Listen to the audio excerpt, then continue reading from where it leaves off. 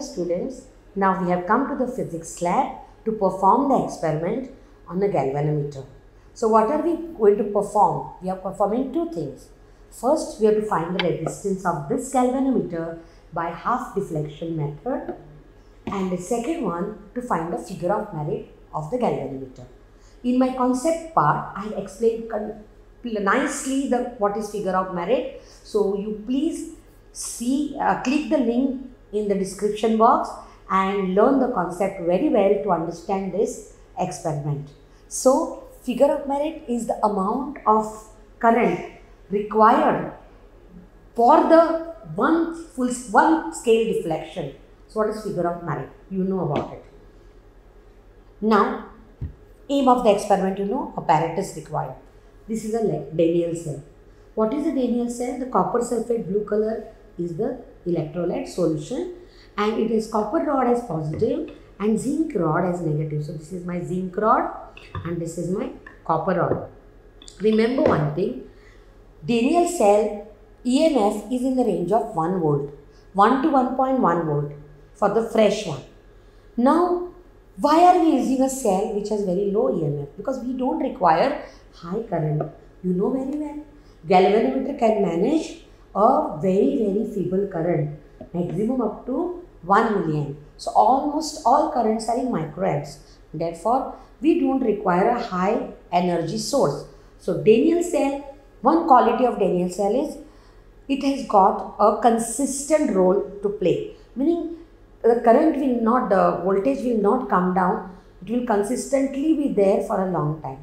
And the current which is given, maximum current given by the Daniell cell is 100 billions. So this is all about Daniell cell. Then Daniell cell ke baad resistance box. If you see this resistance box, it's a high value resistance box. All the values inside the resistance box are 5000, 2000, so 5000 to 1 ohm. And in combination, you can make it 10,000 also. So this is the high value. This is the low value resistance box. If you go to see the values, they're from 0 to 500 ohms. So this is all about Second, this is the key K1 and this is the key K2. So this is all about the apparatus. Now we need to start with the experiment. Now let's start with the connections. Daniell cell, this Daniell cell, copper rod is positive, zinc rod is negative. So copper rod first of all positive comes to resistance. You can see the resistor binding screws. So you have to just give one turn here and make the connections. Okay. Then first only I'll remove some 5000 and keep just in the beginning. I'll tell you the reason why. Then what I do, I take the second wire and I take it you can see the you can see your uh, circuit diagram and it goes to the galvanometer. You can see the galvanometer here. Galvanometer. So I have to connect it to the galvanometer. So here from this resistance wire, one goes to the galvanometer and one wire goes to resistance R2. Later on we'll call it S. Then from here, this is going to the key K2 and from key K2 and galvanometer, these two wires are coming to key K1. So this is the circuit. So again I repeat, positive that is the copper rod, positive comes here. Then from here one comes here to the resistance box and from here one resistance box comes to galvanometer, one terminal. From the resistance box R2, it goes to key and key K2. Later on we'll call it S key K2 and from here both these wires come to key K1 and that goes to the back to the battery that is the zinc. So these are all the connections. Now we will start the experiment. In the experiment, I just removed 4000 so let it be 4000 I have removed. You will wonder why I am using a high value resistance box here and low value resistance box here. You know very well that this galvanometer can manage current up to 1 milliamp maximum. But actually the current flowing in a galvanometer mostly is in microamperes. Since it is a very small current, we need to remove high value of resistances from this resistance box so that this galvanometer is safe and we get the proper reading. If at all we had to use a low value for this, then galvanometer pointer may get damaged because of full scale deflection. It will just go and hit the large scale. So let's start next. Next here, this is a low value. Now let's start with the experiment. First I remove 4000 ohms and when I remove 4000 ohms, I put on key K1.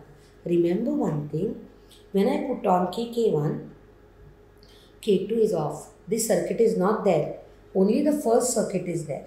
When it is on, I get 20 as the observation. 20 is an even number and in my concept part I have explained why we need an even number.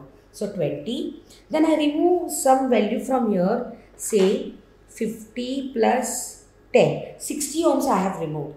So in fact you have to remove 60 ohms means you, you have to remove the resistance in such a way that this marking that is the pointer shows exactly half of 20. Now what is half of 20? 10. So let's see whether I am getting 10 and I am getting division 10. So I got the first reading. So now think about it. When this was not on, the current was full current was flowing in the galvanometer was 20 parts, 20 divisions. And when I put this here on, it becomes 10 means half of the current flows through this resistance and therefore it is divided into two equal parts. Current in this is equal to current in this then resistance of the galvanometer is equal to resistance which is shunt resistance. So now we'll call it as a shunt resistance S because we got the reading of the galvanometer. Now the reading is resistance of the galvanometer is 60 ohms.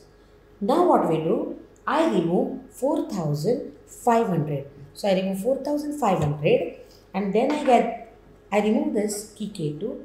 Remember first part key K1 is on, K2 is off. So key K1 is on and I get the reading as 18 divisions. Then I put on this. Remember this is constant resistance of the galvanometer. So I am not changing it. I put on this and I get exactly 9. Like this I take readings for 5000 I get 16 then 5900 I get 14 and 6500 I get 12. Every time I don't touch this resistance box because we know very well resistance of the galvanometer is equal to resistance which I have written here which is a constant. And we get various readings. And then let us calculate. Now we found out the resistance of the galvanometer. It is 60 ohms. And then we will do the calculations for figure of merit as per the observation table. So now we have already taken the readings. And we got the resistance of the galvanometer is 60 ohms and then we are finding figure of merit. You know the formula K is equal to E upon R plus G into theta. So we have to plot a graph. So we are plotting a graph of R1 and versus 1 by theta. Uh, in your graph page, I will. Uh, it will be better if you take 1 centimeter equal to 500 ohms on the y-axis. You will get accurate value of galvanometer resistance because this galvanometer resistance is uh, a very small value of 60 ohms on that scale. So it will be almost touching 0. So we should be able to see. So it should be below 0. So the graph of r versus 1 by theta is a straight line and um, that's all. Then you have to find the slope. Slope is slope is e upon k. So k is equal to e by slope. E you know you have found out e.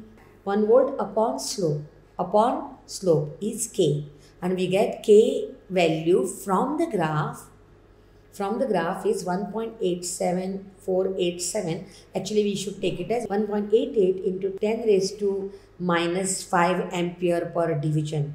That means it is 18.8 microamps per division. So if it is 18.8 let's take 19 microamps per division and 19 into 30 full scale deflection. So 19 and 30. So you will get full scale current in the galvanometer. So this figure of merit is an interesting experiment and we can find out how much current flows in a given galvanometer, how much is the maximum current flows in a given galvanometer.